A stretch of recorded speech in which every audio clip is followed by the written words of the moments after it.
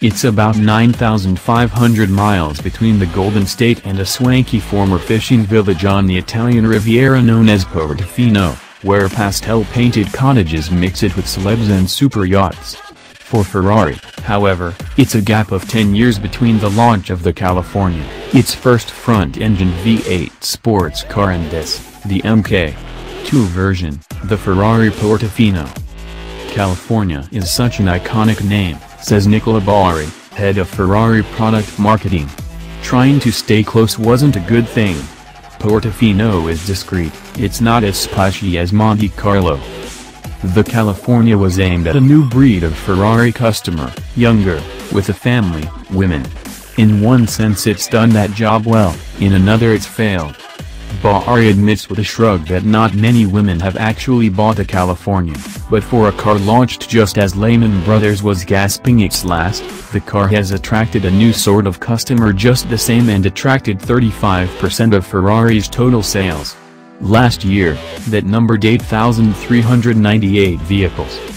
Same sex, but a different type of customer, says Boari, adding that California customers use their cars 150% more than typical Ferrari sports car owners, tend to use their cars every day and 30% of them even use the tiny rear seats.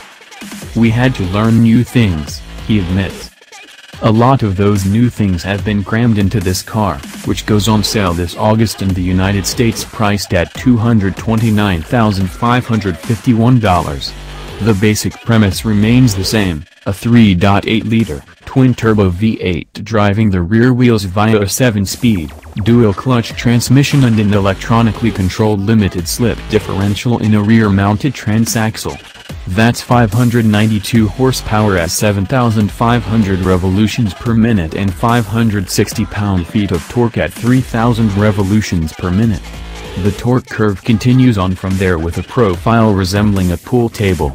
It's good for 199 miles per hour, 0 to 62 miles per hour in 3.5 seconds. 0 to 124 miles per hour in 10.8 seconds and gas mileage in the European test cycle of 31.7 miles per gallon.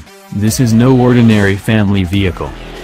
The 2 plus 2 Pininfarina designed aluminium body has been completely redesigned, but retains the same basic dimensions as the outgoing California.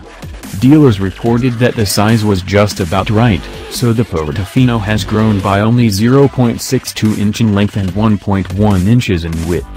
It's lighter by 176.4 pounds, thanks mainly to a lighter body construction and interior, and stiffer thanks to more integral parts and aluminum pans under the floors. Thinner and lighter front seats have freed up almost 2 inches of rear legroom. There's an all-new interior with more modern controls, a touchscreen and better aircon and sat-nav. All were criticisms of the old car.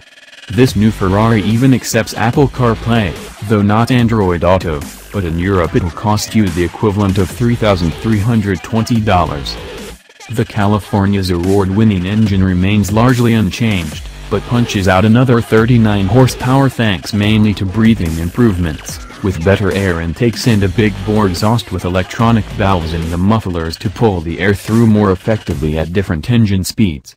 It also enhances the noise. Ferrari still limits the engine's torque in the first three gears to encourage it to rev and makes it feel more like a naturally aspirated unit. It also now comes with an intelligent oil pump, which increases its pressure when required. At the rear, the Portofino has been given Ferrari's latest software for the limited slip differential and stability controls.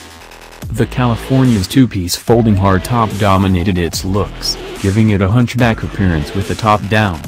For the Portofino, Ferrari spent time camouflaging the rear deck's height with shapes and colors, though the space required by the top still makes this a rather weirdly proportioned sports car.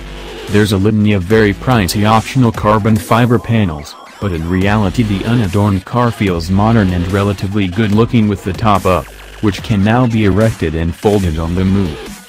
The interior is heavily redesigned with a busy but attractive dashboard.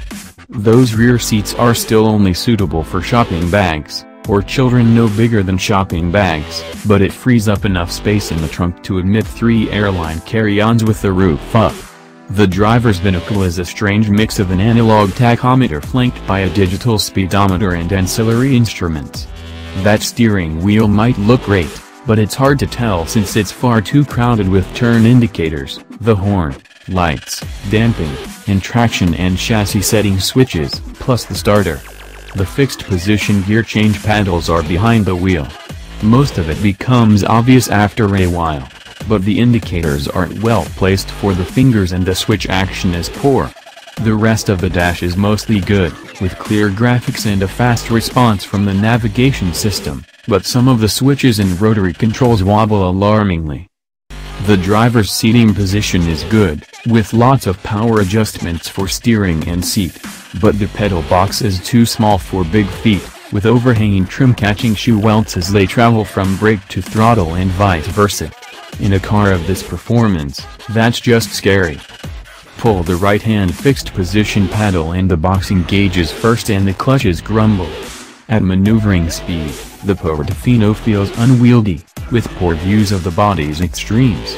There's also driveline shunt, and the rear suspension is noisy over bumps. This cacophony was joined by a troubling rattle from our test car's passenger door. Speed up, however, and the double wishbone suspension's magnet magnetorheological dampers allow those big 20-inch Pirelli P0 tires to sail over the worst bumps in southern Italy, for a 200 miles per hour car. The Portofino rides very well indeed. That drivetrain shunt disappears at about 25 miles per hour, and the engine pulls hard from just over 1000 revolutions per minute.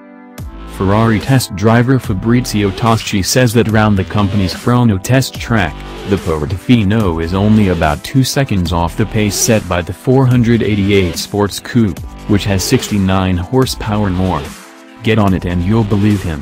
The V8 rasps like the brass section in a college band, Ferraris don't shriek anymore, and down changes from the dual clutch sound like firecrackers, but it certainly does the business. That body shell feels as stiff as a new pair of jeans, with barely any twisting or shape. While the Portofino feels marginally stiffer with the roof up, it's impressively taut in all conditions. Just the tiniest squeeze of the throttle has those twin-scroll turbos spooled up, firing the car down the road like a dart. You work out where you want to be, press the loud pedal, and you're there. It's really that quick. And if the turbocharged V8 doesn't quite have the quick response of a naturally aspirated rival, it's close enough not to matter. The dual clutch has well-spaced ratios and changes cogs as fast as you'd ever want especially with sport dialed in on the Manettino selector.